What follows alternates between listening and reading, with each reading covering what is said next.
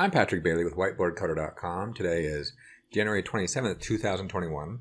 And in this video, I'm going to be tweaking my pfSense firewall router to slow down my internet connection because I'm about to go over my data cap this month. Okay, so here is my current issue. So with my current internet provider, uh, they give me a, a, data cap of 1.2 terabytes, which seems like an enormous sum. And it is. It's a lot, a lot. Uh, but I've seen over the months, I've been getting closer and closer to that data cap. Everyone's at home. Everyone's watching Hulu. Everyone's watching Netflix, Disney Plus, whatever, YouTube. It is just all adding up, and classes and teleconference. And so this month is the first month I think we're going to go over the data cap. So I thought, well, let me see what's an easy way to fiddle with pfSense to to uh, figure out how to kind of slow this down. So basically, slow down my internet uh, before I start just cutting things off or you know targeting things or I don't know. I don't know. So this is my first thought. Just kind of slow things down. So, um, going over some quick links and notes just to let people know. I've put a couple other videos out here on pfSense. I I have, you know, pfSense is my firewall router, and if you're watching this, you probably know what pfSense is. I do have it installed in APU 2C4. I did a video about it before. So it's a little dedicated device I have downstairs. Also, I did another video because I have a private LAN and a public LAN in my house. So basically, I have a private thing that I use for my own stuff, and then I have a uh, wi- Wi-Fi router that's plugged in on its own LAN that I allow, you know, guests to log into and whatnot. So I have two different LANs. So just something to account for. People have that. Um, okay. Also, I use a lot of notes from this. I'll put a link in the show notes. How to limit bandwidth in pfSense. A lot of good information there. In fact, that's mostly what I used. Um, also, here I'll put a link to the actual traffic shapers uh, documentation for pfSense. And also, one thing I'm not going to cover in this video, I'm going to slow down the LANs. I'm not going to slow down the WAN, the access from my out to my internet. I'm just going to slow down my LANs to the internet. If you want to slow down everything, which I did myself, I would recommend going and watching this guy's video. In fact, I'd recommend a lot of his videos for pfSense. Uh, Lawrence Systems, he does a great job. He knows exactly what he's talking about. Uh, but with that, let's go over my setup. So currently, uh, I've turned everything. I've turned what I my limiters off. So we're starting uh, raw here. So if I run a speed test, uh, and one of the best places to get a speed test, go to google.com, search for speed test, run the speed test, and I should be getting something like 300.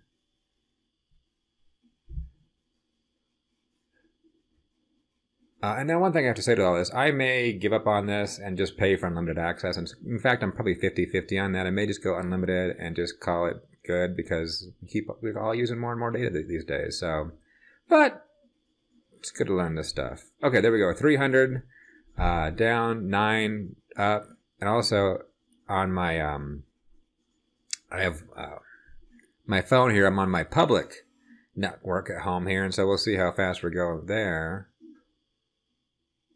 We'll run that real quick. Looks like I'm getting the 50s. So I won't go over too much details, but that's my public LAN. It's getting about 50. In theory, it can do 300. Same thing. It's just for, for some reason, it's going a little slow right now. Okay, so now I've already logged into my pfSense, and so now I want to do a few things. So the first thing to do is go to Traffic Shapers. So click on Traffic Shapers. Okay, and then from here, you want to go to Limiters. And I've already set up some limiters here uh, that I set up with the other guys, uh, but here I'll just set up some new ones just for this. So I will go down here and say, let's see. First, you need to click on enable. You want to enable this, and then name it something that's obvious. So I'll say uh, in limit, in limit, uh, eh, 10 megabytes, 10 megabits. And I'll come down here, set it to 10, and change to megabits, and then call that good. Boom. Oh, you know, uh, oh, I already made that. Let me let me make it for this video. So I'll call it video. Video for the okay. I'll call it video, so it's obvious. Video, in limit 10 megabytes. We got 10, none, none, none. Description, okay, save. Save it again. There it is, video in limit. Okay, and then we'll have a new limiter. Because you need two, one for up, one for down, basically. So I'll say video, video, out, limits, and we'll say five, we'll say uh, two megabit for this test. And we'll say two megabits, boom, save it. And then apply the changes. Now we need to go set up some rules in, in the firewall. So go to firewall, go to rules. And then for my, myself, I have two LANs. You may only have one. I've got a private LAN and a guest LAN. So first we'll do the private LAN. And what I'll do here is I've, I've already, here's my rule I made before, but I did uh, disable it. So it's, no, it's not running right now. So I'll add a new rule. So click on add. We'll say pass to private LAN, IP4. Uh, change from TCP to any. You know, do any there. And source, I want any and any. So my idea here is I want to limit everybody who's on my private LAN to 10 and 2 in this case. So they can download 10, upload 2. Uh, but that's per device. That's kind of nice in a way. You know, I'm not, I'm limiting each person's pipe, but not the whole. So everyone actually gets their own 10 and 2. You know, as long as I can support that. Right now I'm doing 300. So in essence, I could support that pretty well. So for n, uh, it's always, I always get this backwards now.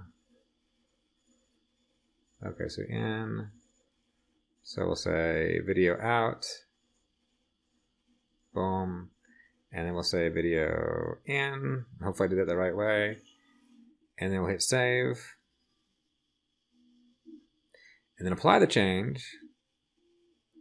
And now when you apply the change, it might take it a second or two uh, for it to fully complete and become um, updated.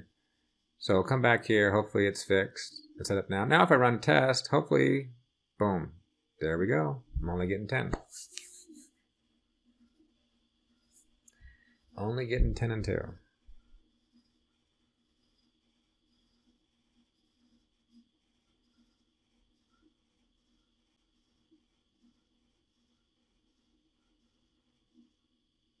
There we go, 10 and 2. Now, if I go run a test on my public WAN, my public, public LAN, which I did not change. I didn't change my public. So my public is still going very fast. So that is working exactly how I want to. Well, what I for what I've set up. So now I would do the same thing. I would go to my guest LAN. I would hit add because now I want to change this one. And I would say pass guest, uh, do any, come down here and click on advanced, and then go down here and say uh, limit out, limit in. Hit save. And then apply the changes here. And again, we should see the same once it gets through. I run a test.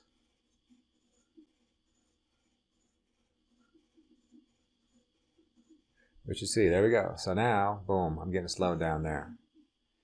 Now, uh, this may or may not solve my problem because really what I'm all, all I'm doing is saying, hey, I'm limiting everyone's access. If I do something like this, a 10 and a 2 or a 10 and a, 10 and a 5, that basically says every individual attached gets their own 10 and 5 as long as we're not saturating the whole.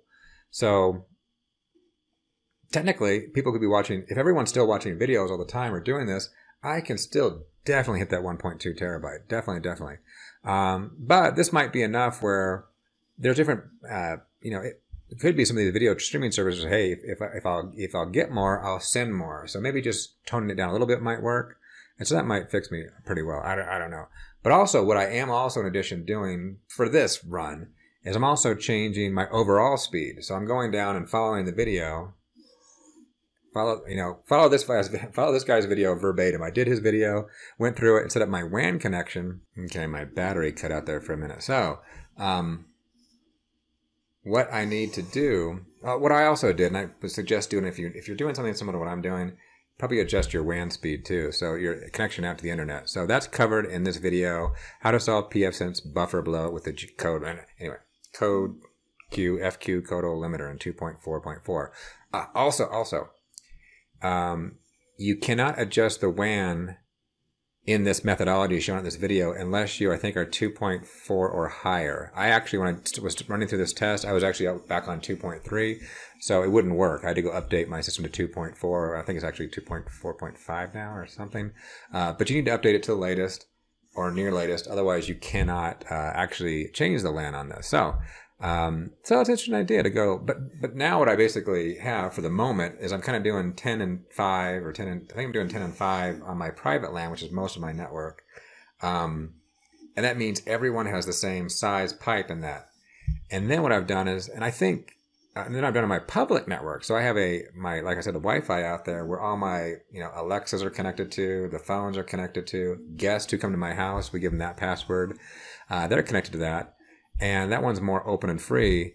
So I'd, I think I put that one like a two and a one temporarily.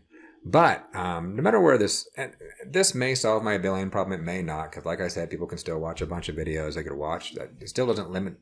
You know, I'm still could go over, but I'm going to do this as a first run to see if I can lower it without affecting everyone's usage too much, and see if I can lower my bills. I may not go with data cap, but you know, I still may pay and just go full fledged and get unlimited data. Um, but always a but in here, huh? Um, I think what I'm going to do no matter what, even if I do go and get the unlimited plan and get gigabit ethernet and just go hog wild, I don't like the idea of someone on my public network, because I have two, abusing my network. So I think no matter what, I'm always from now on going to limit my public network. Maybe give everyone a 10-2 or something like that, no matter how fast I am. Now, a 10-2 to any, any individual is fine. They're great. That's a lot of bandwidth. But it would be uh, a bummer to someone to come over to my house and abuse the privilege and just start saturating my network. So it's kind of a nice idea to say everyone has a limit. So anyway, uh, this has been a really good. Uh, I like this. I think, so, like I said, on some aspects I'm going to use, even if I get unlimited, uh, my public. But we'll see uh, the next 15 days if this can actually cut my network usage down enough so I can fall under my data cap um, and not have to pay those fees. Thanks for watching. I hope you liked the video. If you did, please give it a like. To subscribe, just click the subscribe button. Also, you can follow me on Twitter under the handle at whiteboardcoder.com. View any code I may have thrown up as a gist uh, at GitHub under the username patmandenver, or check out my blog site at whiteboardcoder.com.